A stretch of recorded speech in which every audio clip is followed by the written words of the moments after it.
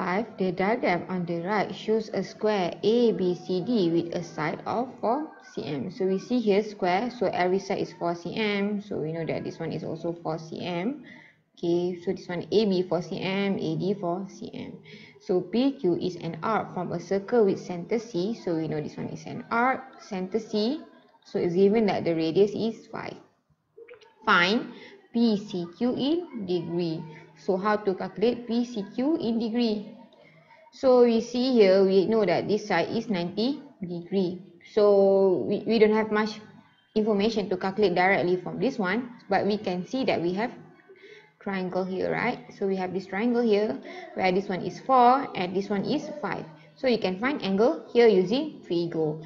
So trigo we have soh, cah, toa, so here, if we take out this triangle, so the angle is here, so you have 4 here and you have 5 here. So we know this one is adjacent and this one is hypotenuse. So the formula with adjacent and hypotenuse, adjacent and hypotenuse is cos. So we know that cos theta is equal to adjacent divided by hypotenuse.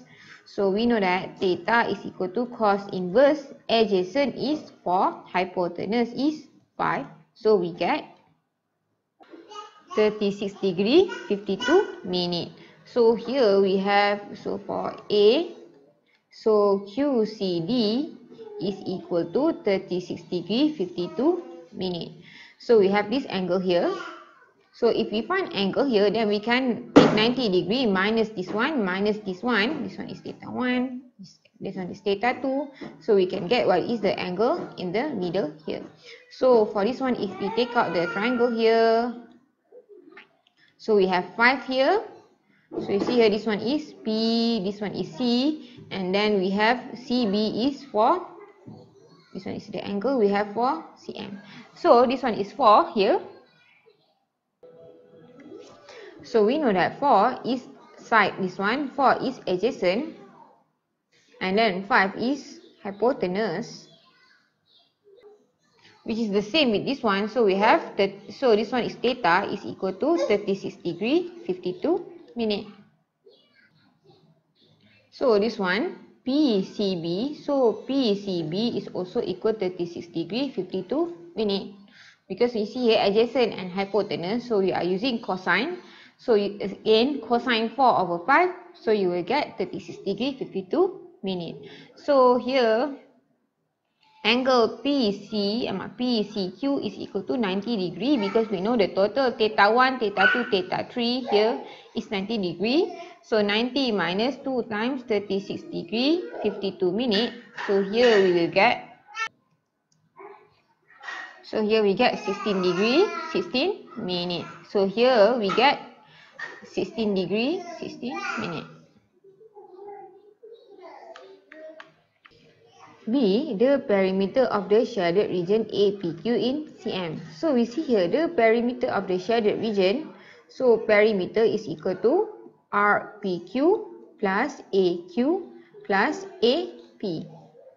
So first, so we need to find these three to get what is the perimeter of the shaded region. So we know S is equal to R theta. R is equal to radius theta. So we know the theta already which is equal to Okay. Before that, theta is to be in radian. So we have the one in degree. So we have to convert to radian. So 16 degree, 16 minute. To convert to radian, we divide with 180. So this one would be 1.5. So here we get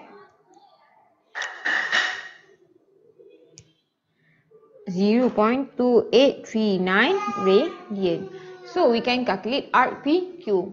So radius is equal to 5 and theta is equal to 0 0.2839. So here we get 1.42 cm.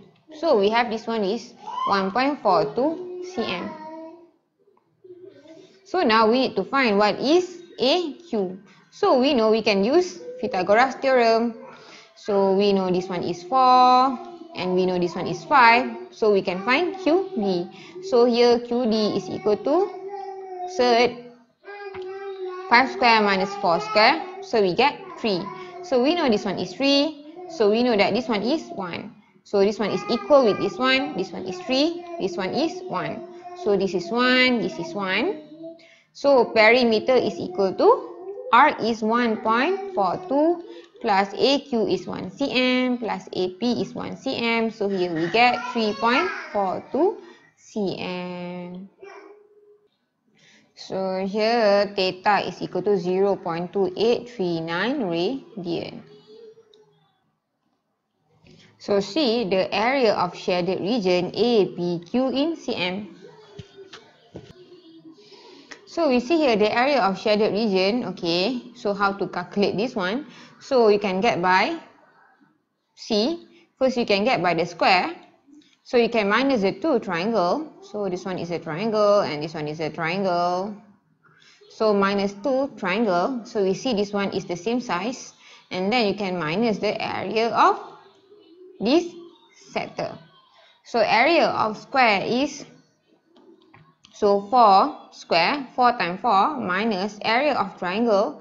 So triangle, you see here, this one is, so you know this one is 4 and this one is 3.